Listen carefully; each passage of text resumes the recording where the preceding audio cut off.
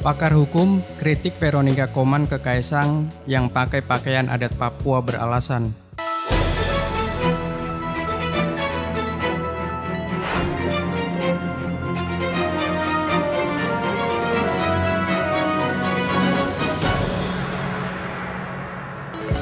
Kritik aktivis pro Papua Merdeka Veronica Koman kepada putra Presiden Joko Widodo, Kaisang Pangarep dan calon istrinya Erina Gudono yang mengenakan pakaian adat Papua menuai pro kontra.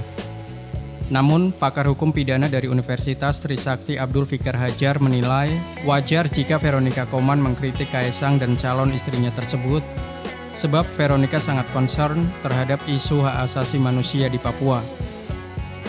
Ya, setiap pendapat pasti ada argumennya. Demikian juga pendapat Veronica Koman yang mencerminkan begitu perhatiannya terhadap perkembangan masyarakat Papua.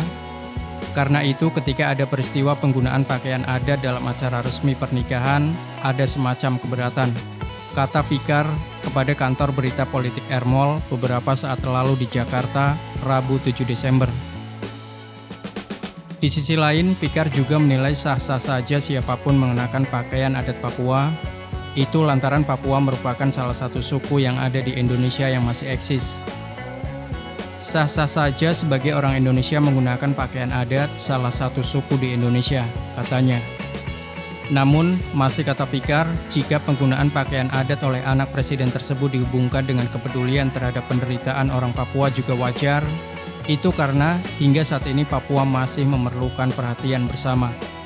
Saya kira ini bisa menjadi perhatian bagi kedua mempelai untuk memperhatikan penderitaan orang Papua yang belum maju, pungkasnya.